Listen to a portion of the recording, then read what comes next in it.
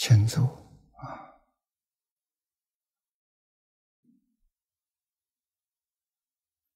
请大家跟我一起皈依三宝，二舍利成念。我弟子妙音，师从今日乃至明存，皈依佛陀、两足中尊，皈依大摩利欲中尊，皈依僧伽诸众中尊。二舍利存念，我弟子妙音，师从今日乃至命存，皈依佛陀。两足中尊，皈依大摩利欲中尊，皈依僧伽诸众中尊。阿舍利存念，我弟子妙音，时从今日乃至明存，皈依佛陀两足中尊，皈依大摩利欲中尊，皈依僧伽诸众中尊。请看《大经科注》九百七十一页倒数第二行啊，课题：若果报以重回、重重复，一二三，三二四，不断的。提醒我们，教导我们，请看经文：共其冤家，更像杀伤，从小危起，成大困局。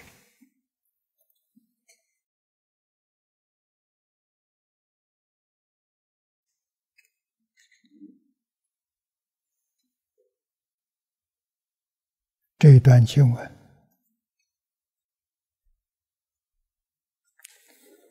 对我们今天在这个生社会生活的人来说，非常重要。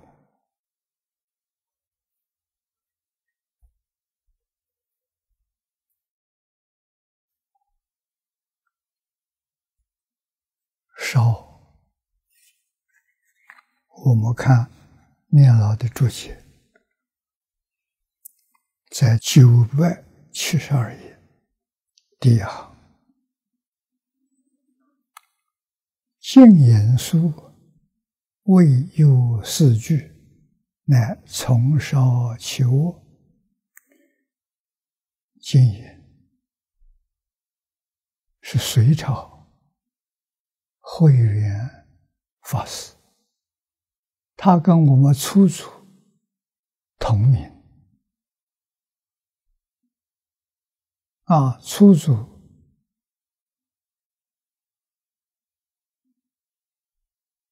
是在后汉。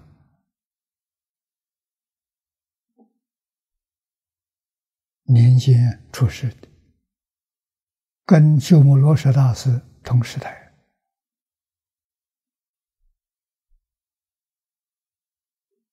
庐山慧远大师，这是隋朝的，唐前是隋，啊，隋的年代不久，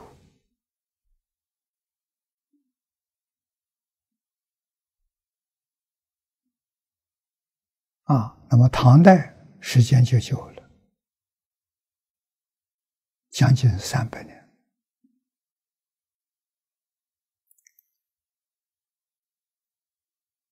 啊！净营是寺庙，净营寺对大师的尊重，不称他的名，不称他的号啊，称寺要称寺庙，净隐大师，我们就知道是指隋朝的慧远。佛门里面也称为小慧远，啊，说小慧远也知道。啊，像窥基大师，不称他的名，也不称他的号。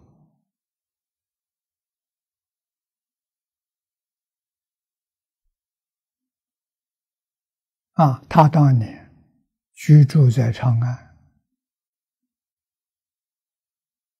时间长，在那里讲经说法，大家对他的恭敬，就用寺庙名慈恩寺。慈恩大师啊，我们就晓得那是对窥基大师啊，这一些礼貌，在过去人很讲究啊。它到底有什么好处呢？带来整个社会的安定秩序，所以礼。重要啊！长治久安、太平盛世怎么来的？从礼来的，人人都守礼，人人都讲理，这个社会自然就安定和谐啊，就不一样了。这是我们不能不知道的。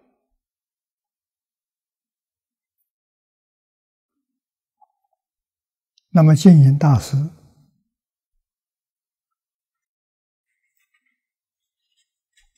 在《无量寿经》上对这四句话，他说：“这是从烧起物，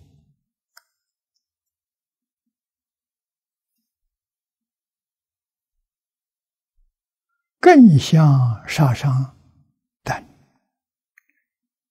等。”其他的三句啊，根据望西大师的意思，是在烧生杀生物也，杀生物。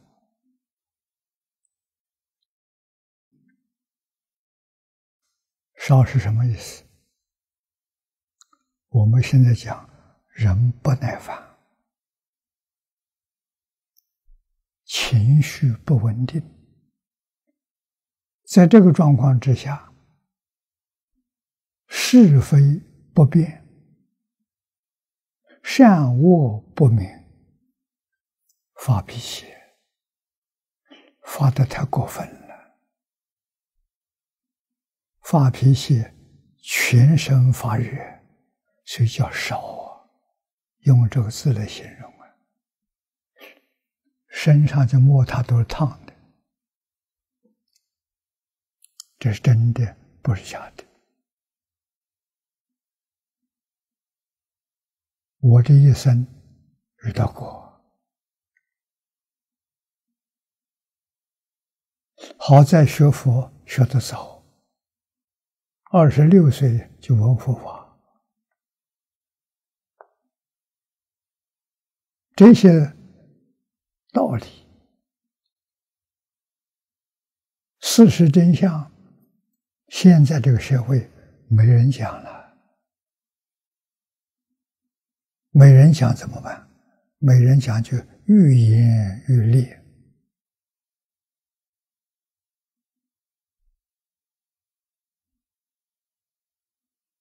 造成整个社会人民不安。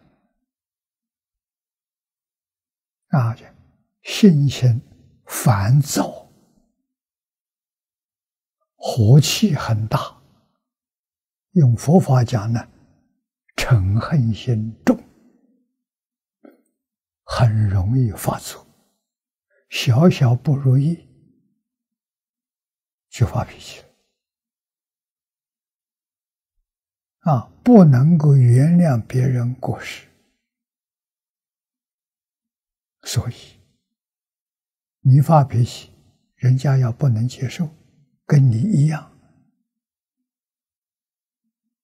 这斗争就起来了。斗争在提升，就战争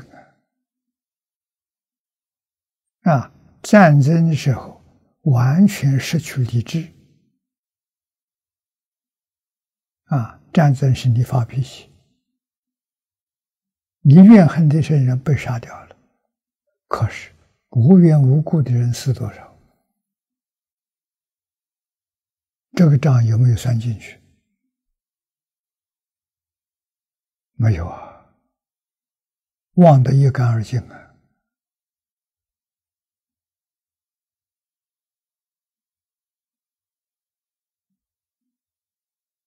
啊，每天看到的信息，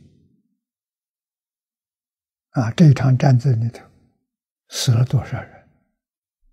啊，多少将士，多少无辜的平民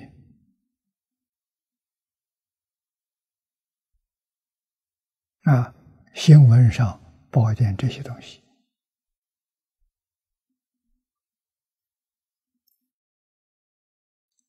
不知道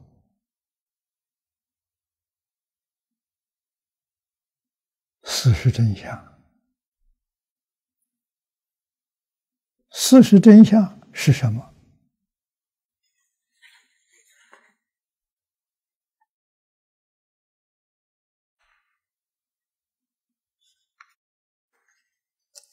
事实真相，你在这造因，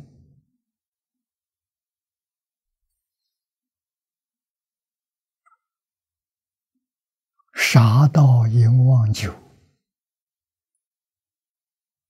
是佛门根本的无戒，特别是在今天这个时代，一定要觉悟，决定要遵守，决定不能够破戒犯戒。为什么？保全你的身心冷静，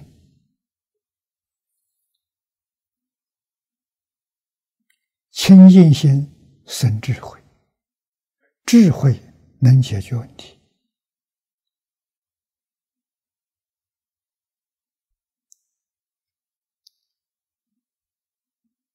发脾气、成会不能解决问题啊！只是把罪业了提升了，先是竞争了，竞争提升到斗争了，斗争斗争提升到战争，多可怕！国报在哪？国报在地狱。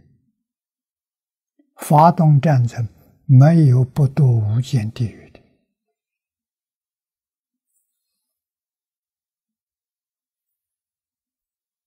这些年来，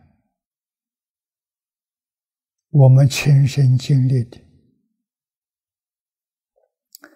唐太宗附体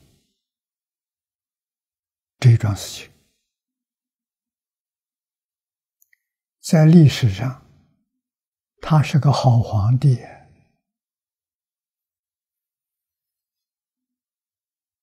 爱国爱民啊。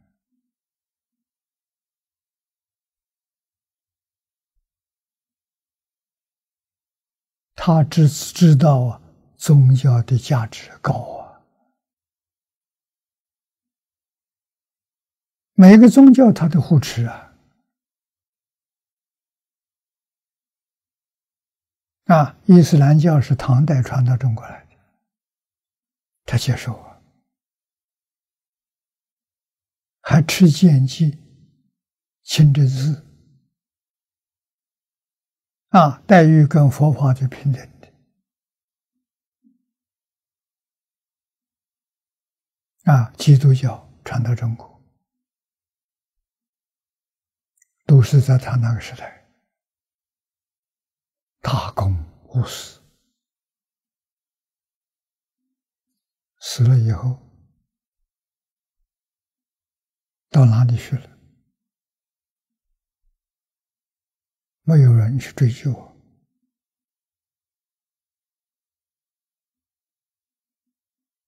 啊，照表面上来看。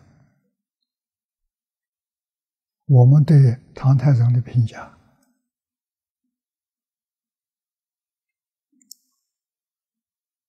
纵然不能成佛，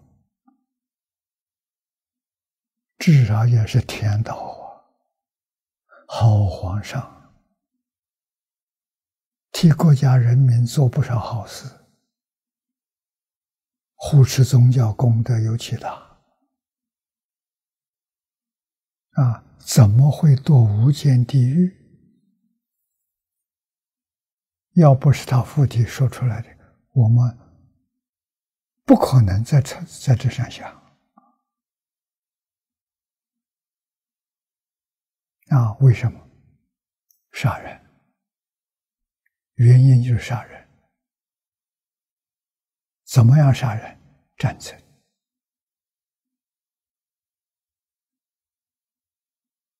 他的政权是靠武力获得的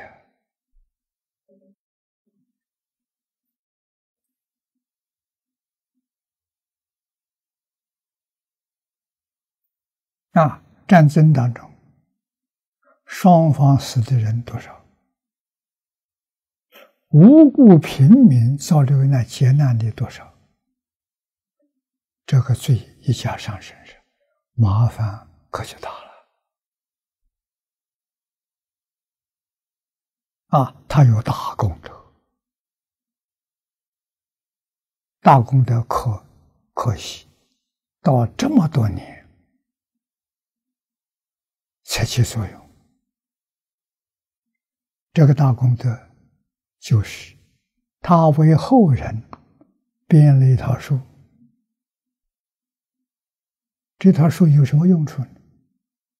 帮助每一个人修身齐家治国平天下。这个书可不得了啊！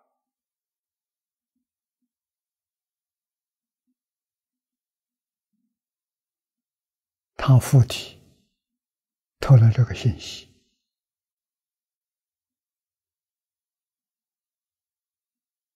啊，来感恩！我们把这部书找到了，群书之友，他感谢啊，来告诉我，这部书可以救中国，可以救全世界。我相信，救中国我知道，救全世界没想过。他一提，我就明白了。这部书必须要把它翻成白话文，再从白话文翻成外国文字，希望全世界的人都能够读到这部书，都能够接受中国传统文化的教诲。啊，修身，你这一生。身心健康，幸福快乐，你要不要？当然要。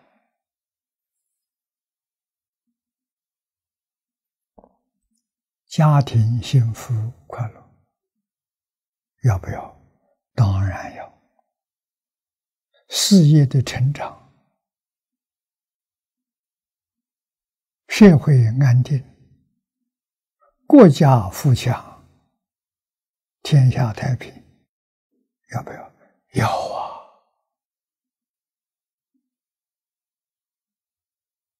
谁给我们？我们的老祖宗给我们的，古圣先贤给我们的，通通在这部书里头，全书这样里头。这部书分量不多。唐太宗那个时候编的，五十卷，一卷大概一万字，也就五十万字。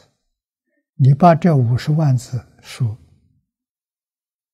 念熟了，明白了，依教奉献，前面所讲的利益，你全得到了。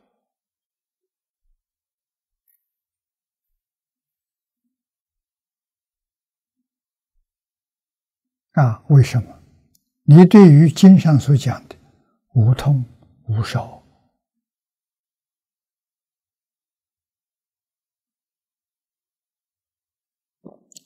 完全明白了，你不会干这些傻事，你不会迷惑颠倒啊。啊，认真修行。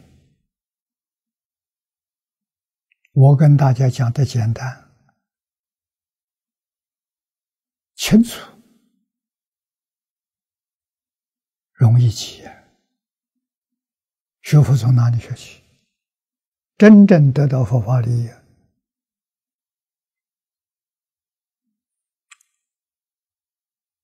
从自己起心动念处。学习，记住，起心动念处，这个念头善不善？这个念头对自己善，对别人不善，不能做。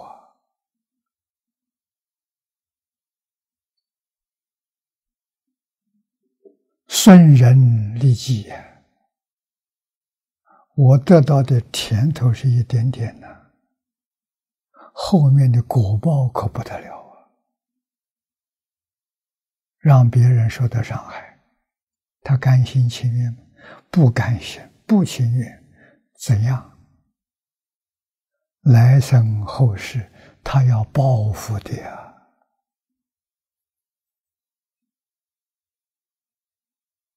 想到报复。胆战心寒，不敢做。那祖宗救了你，古圣先贤这些教诲，你读到了，你得救了。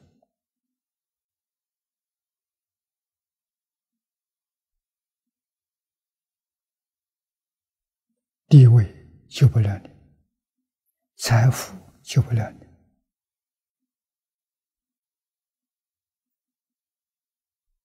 明了因果报应就救得了你。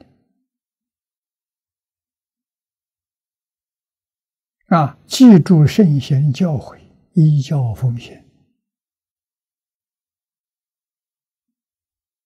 你得无比殊胜的利益，这一生幸福快乐。真实的利益了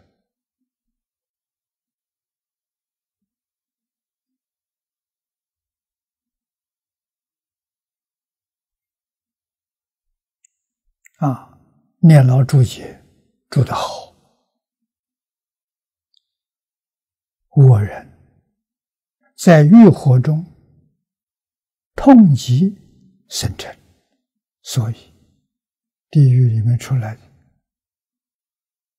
嗔恨心很重啊，习气烦恼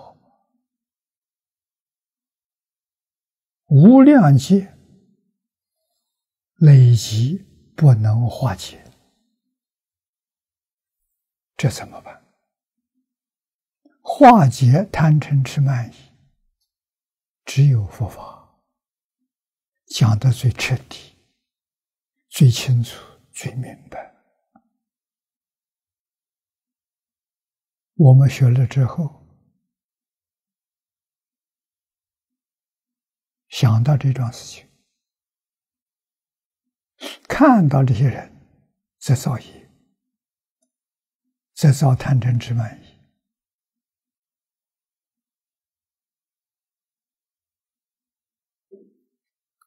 就要觉悟，就要回头啊！我是凡夫，与其颠倒，遇到这些事情，习气。就现行，习气一现行，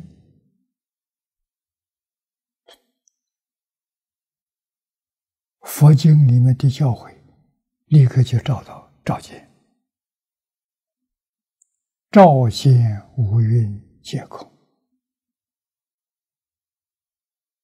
这是智慧，看到事实真相，假的不是真的。啊，怎么样呢？纵然是逆境，逆境来了，我们要删除，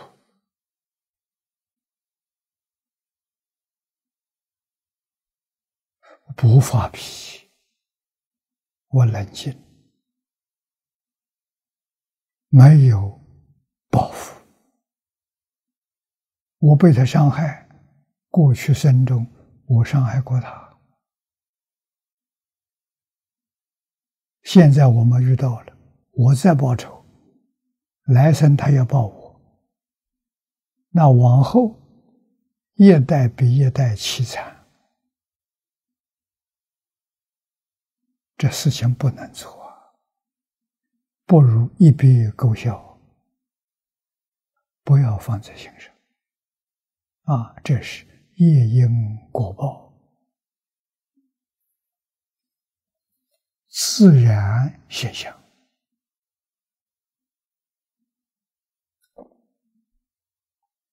啊，就由智慧来处理了。啊，智慧是什么？智慧不但没有报复，用感恩来回应他。你有再大的脾气，你发泄。我忍受，放完之后若无其事，慢慢对方会回忆，到底是谁错了，他自然会明白，自然会忏悔，自然会改过，决定有这一天。这一天，也许不是在他有生之年，是在他往生之后，他明白了。啊，过人的业报，得到的是个人不同的果报。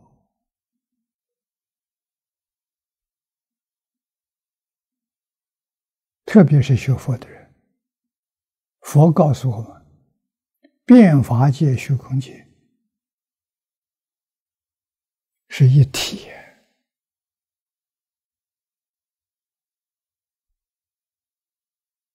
我们中国出家人，高僧大德，大家都熟知的禅宗六祖慧能大师。大家都知道他开悟了，大彻大悟，明心见性。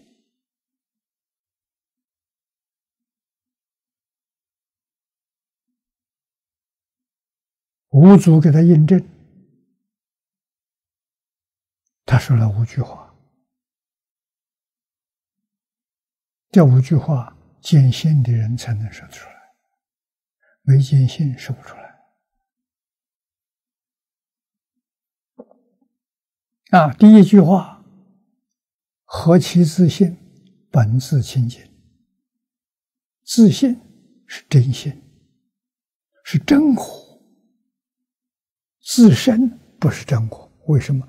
身有生灭，是生灭法，假的不是真的。自信不生不灭，所以它是真的，它不是假的。啊，那是真我。哎，学佛人终极的目的就是圆满的回归自信。啊，自信的身叫法身，法身没有形象，法身无处不在，法身无时不在，整个宇宙是一个法身。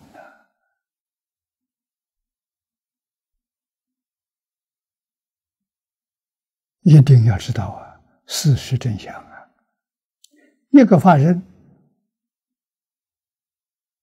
话就好讲了。牙齿跟舌头同一个法身，同一个身体。牙齿不小心把舌头咬破了，舌头怎么办？要不要报仇雪恨？他不报仇也不雪恨。为什么一体嘛？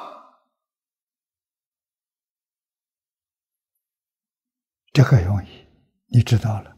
你知不知道？你跟今天这个世界上一些冤亲债主都是一体？不知道。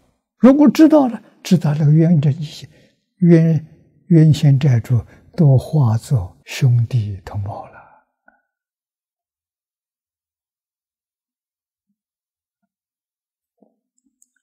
不但没有战争，没有斗争，连竞争“争”这一个字都没有了。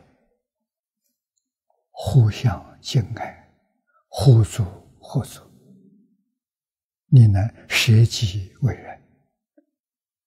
为什么？人就是自己。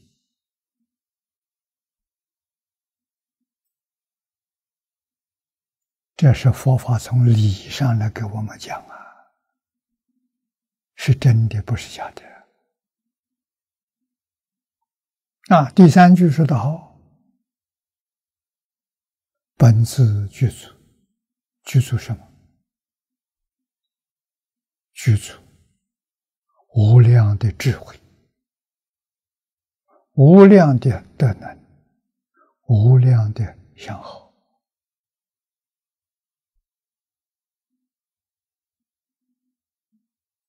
他现的相是幕后一句，能生万法吗？整个宇宙是自性变现的，整个宇宙是一体，能不爱他吗？佛出现于世间，为什么来的？帮助一切众生，离一切苦，得一切乐。苦从哪里来的？迷了来的，不知道事实真相。乐从哪里？豁然明白了，原来变法界、虚空界一切万法跟我是一体啊！我怎么能不爱护？我怎么能不关心？所以一定要帮助他们，回头帮助他们觉悟，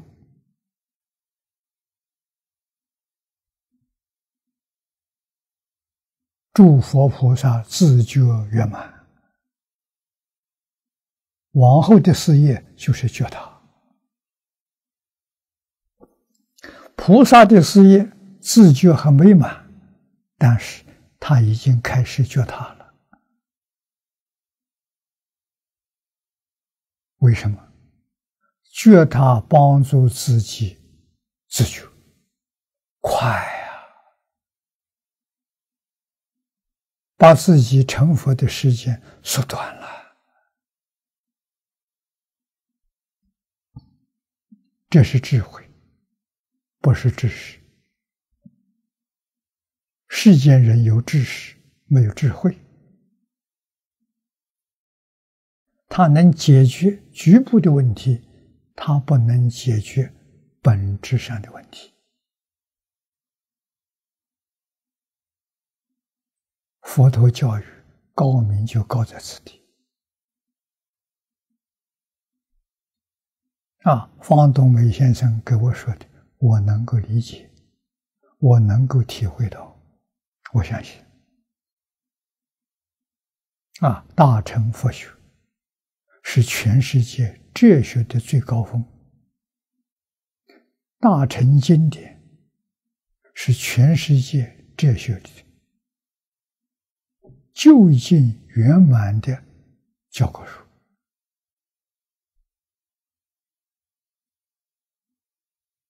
我跟方老师学佛，方老师介绍给我，佛法是究竟圆满的哲学。释迦牟尼佛最伟大的哲学家。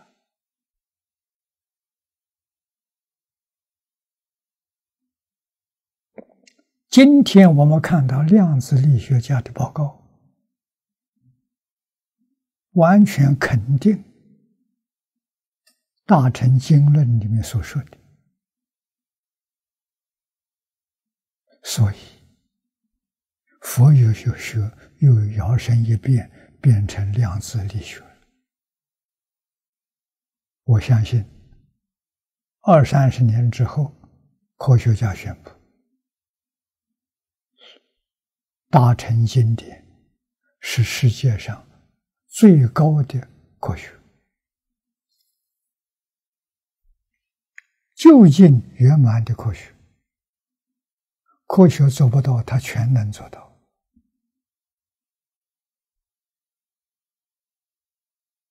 我们要记住，永远记住，一家人，整个宇宙是一家人。他不承认我，我承认他，我承认他，自始至终正确。他不承认我是一时短暂一时的，他其实觉悟了、明白了，他完全承认。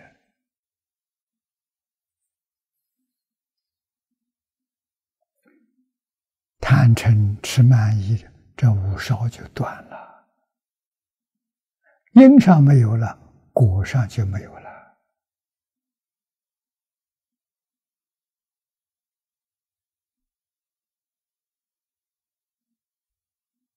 这个道理，我们不可以不懂。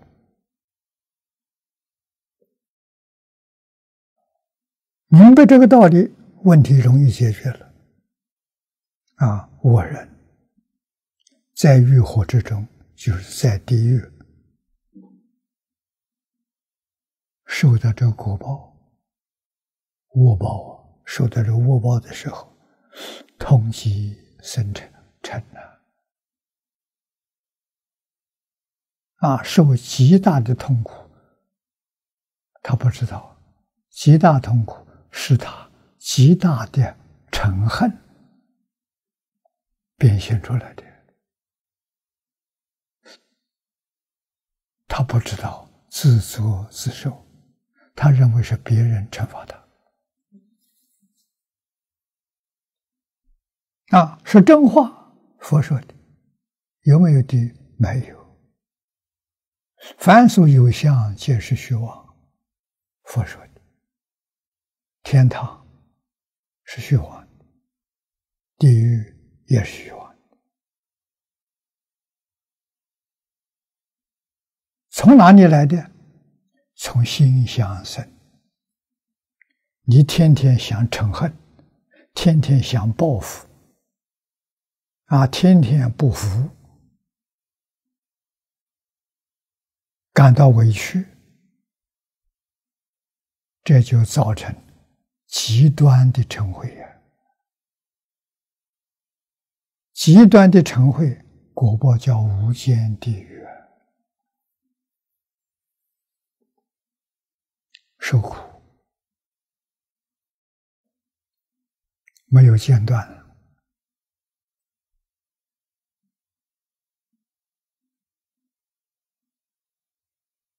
必须苦，完全受尽了。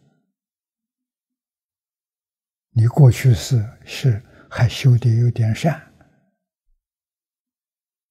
才能够真正起恶向善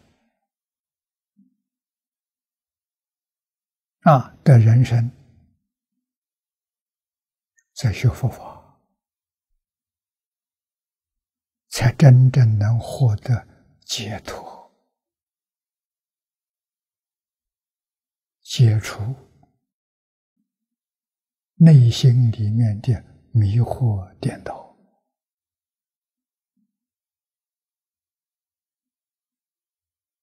不再受苦了，苦的因断掉了，苦的果报永远不生，这正确的。知道这个好，我们的真感，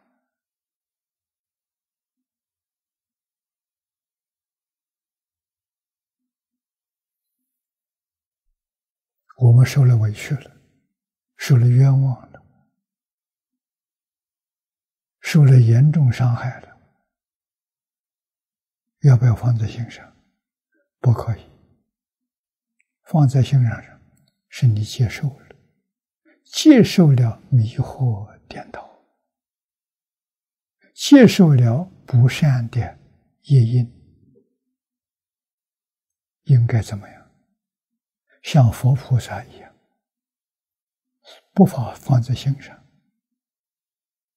心上决定没有贪嗔痴慢疑，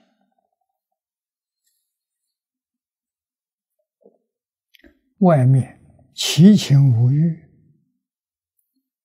自自然然平平安安度过，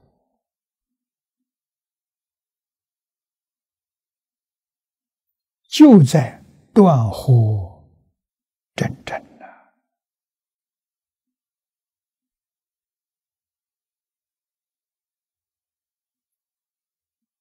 贪嗔痴慢疑，在心想上是迷惑，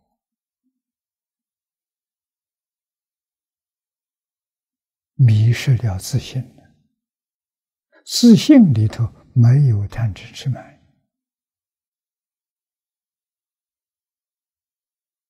不能不知道啊！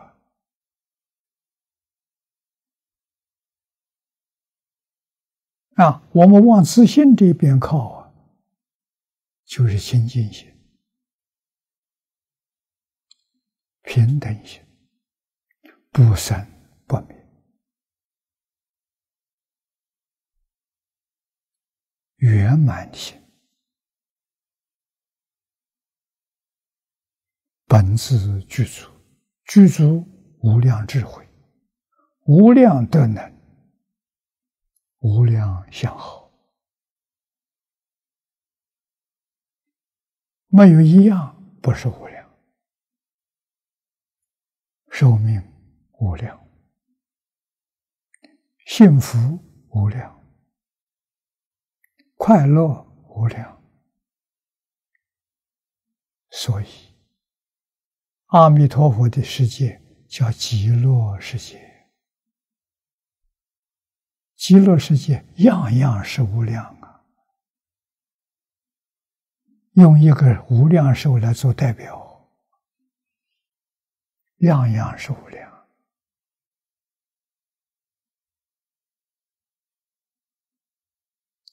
是阿弥陀佛从自信里面现出来。阿弥陀佛，圆满觉悟，圆满的实现。因为我们跟阿弥陀佛是同体，同一个自信，所以他现在就我们可以享受。享受的时候都不必要感谢。啊，为什么？我们是同一个自信。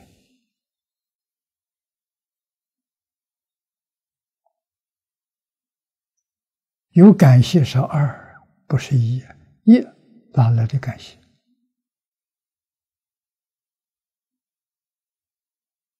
啊，我们对他的感恩，只是他帮助我们觉悟了。没有他的帮助，我们觉悟不了。永远迷惑，迷上加迷。那就像这个经上讲的，啊，实则少中。我们从头面第三行头一句念，互相伤杀，实则少中，重复作恶，造恶，借怨成仇，故云冤家。这多可怕！我们希望我学佛了，我既然学佛了。我这一生当中没有对立的，没有仇敌，没有对立。他跟我对立，我不跟他对立。他把我看作仇人，我把他看作亲人。我的自在，他得的是烦恼啊！为什么？他把我看成冤家，他生烦恼。生嗔恨，我把他看作亲人，生恩惠，不生烦恼啊！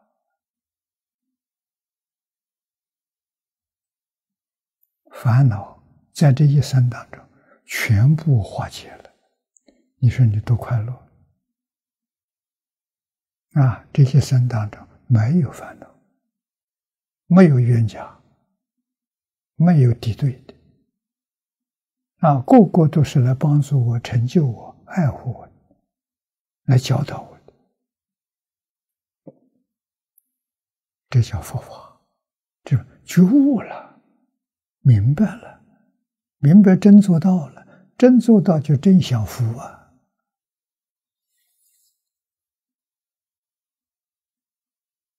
看别人，完全看好的一面。恶的那一面，不善的一面，根本不放在心上。心上只看到人家大善、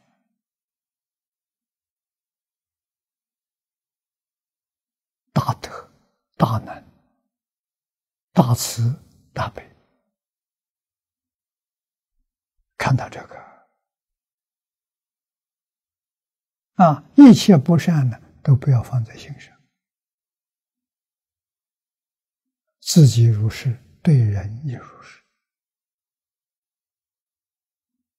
自他是一，不是二，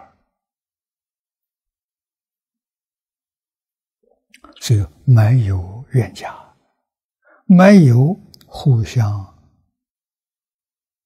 报偿，没有啊，家杀乙，乙复杀家。我纵然被人杀了。我也没有报报复的念头，来生长寿啊！不杀生，再加个不食众生肉。你吃肉，跟众生结冤仇啊！他被你吃了。这个账放在老账簿里头，老账簿叫阿赖耶，每个人都有一个总账簿，起心动念都记在里头。啊，我们从觉悟之后，只见善不记恶，一切恶都一笔勾销，一切善统统记在里头。你纵然没成佛，你生生世世快乐无比，所以幸福是自己修来的啊，苦报也是自己造的，造作错误啊，正确的造物是幸福快乐，错误的造作。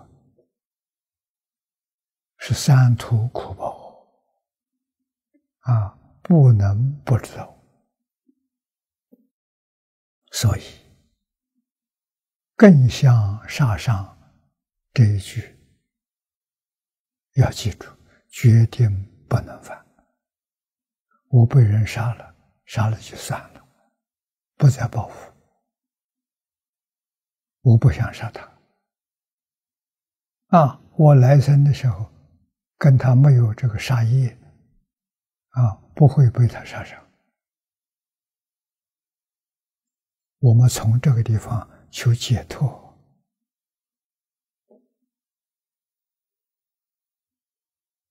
啊，经上教的，从微至著，微是小我，小小不如意，慢慢把它养成大我，那就错了。要化解，啊，不能够愈演愈烈，无有穷奇。这八个字是大错特错。啊，古云经上说：“从小为起。”成大困聚，聚甚也，烈也，多也，增也，有这么多意思在里头。行恶不止，苦增不已，乃成大困。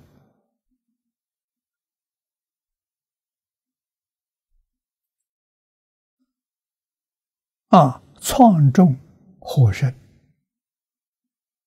故曰成大。困局，困是困难，局是剧烈，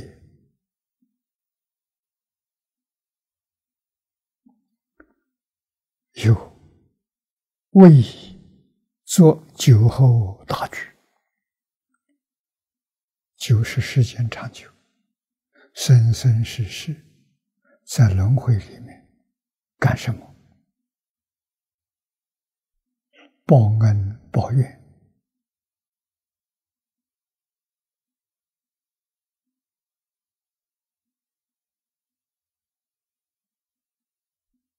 如是而已。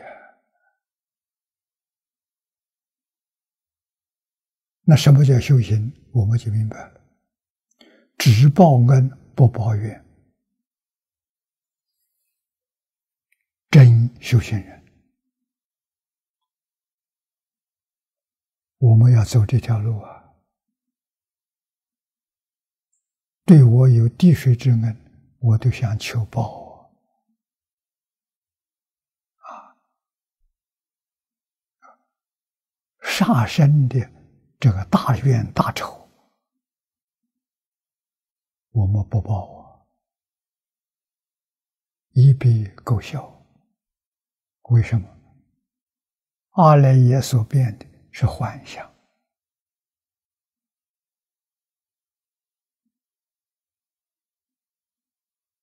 幻象根本不存在，是我们把它看错了，记在心里面，引起这么多的烦恼怨恨。要知道它是假的，它不是真的。记住，佛告诉我：一弹指。三十六亿百千年，这一弹指，表示什么？阿赖耶的现象，它现出的现象，寿命多长？存在时间多久？是三十二亿百千年分之一。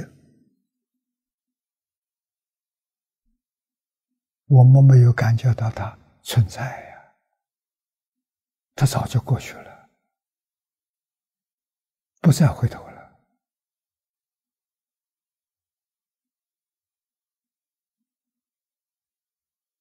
啊，佛经上这些话，今天量子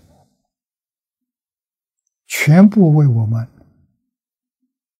说说明了。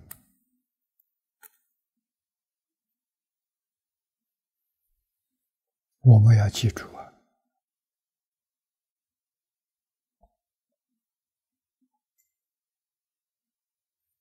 善恶都不是人的。我们行善断恶，我们在这个世界给不没有学遇到佛法的人做好样子。学佛的人，决定要遵守三规五戒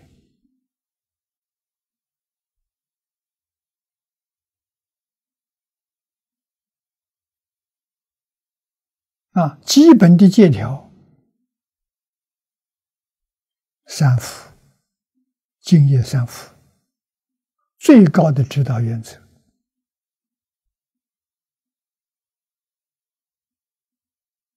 要遵守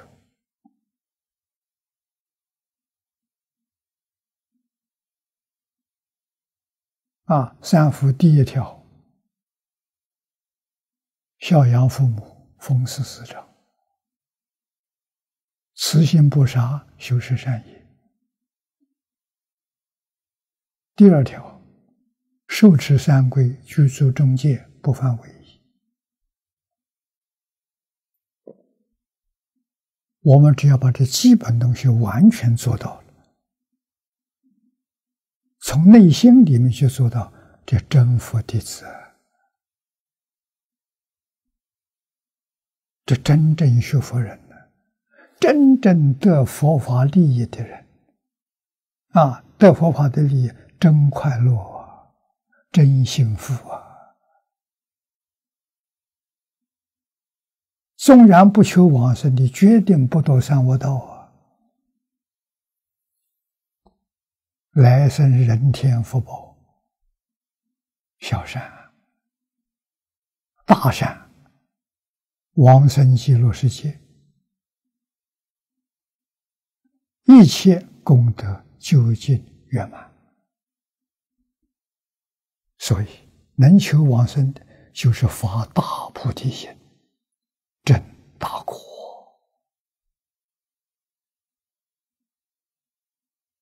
种大福报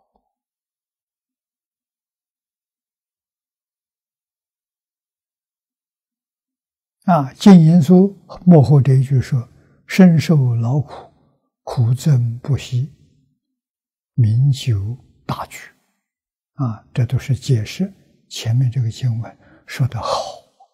我们要怎样学习？怎么落实？怎么样在这里得到真实受用？这个重要啊！如果听会讲了，明白了，没做到，一句也没做到，你什么好处都没得到，空过了，这可惜了啊！今天时间到了，我们就学习到此。